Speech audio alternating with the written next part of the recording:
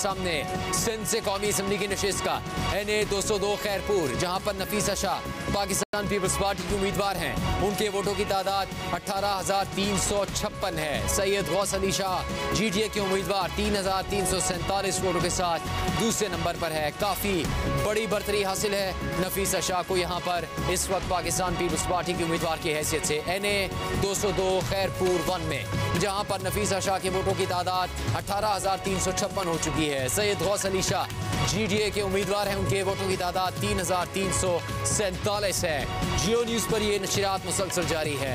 पाकिस्तान की तारीख के सबसे बड़े इंतबात के नतज से आपको आगाह करने के लिए जियो न्यूज़ इलेक्शन हेडकोार्टर्स में नशियात जारी है। और इस नशियात में मुसलसल लम्हा बलम्हा नतज अपडेट हो रहे हैं। एक से बढ़कर एक नतीजा सामने आ रहा है।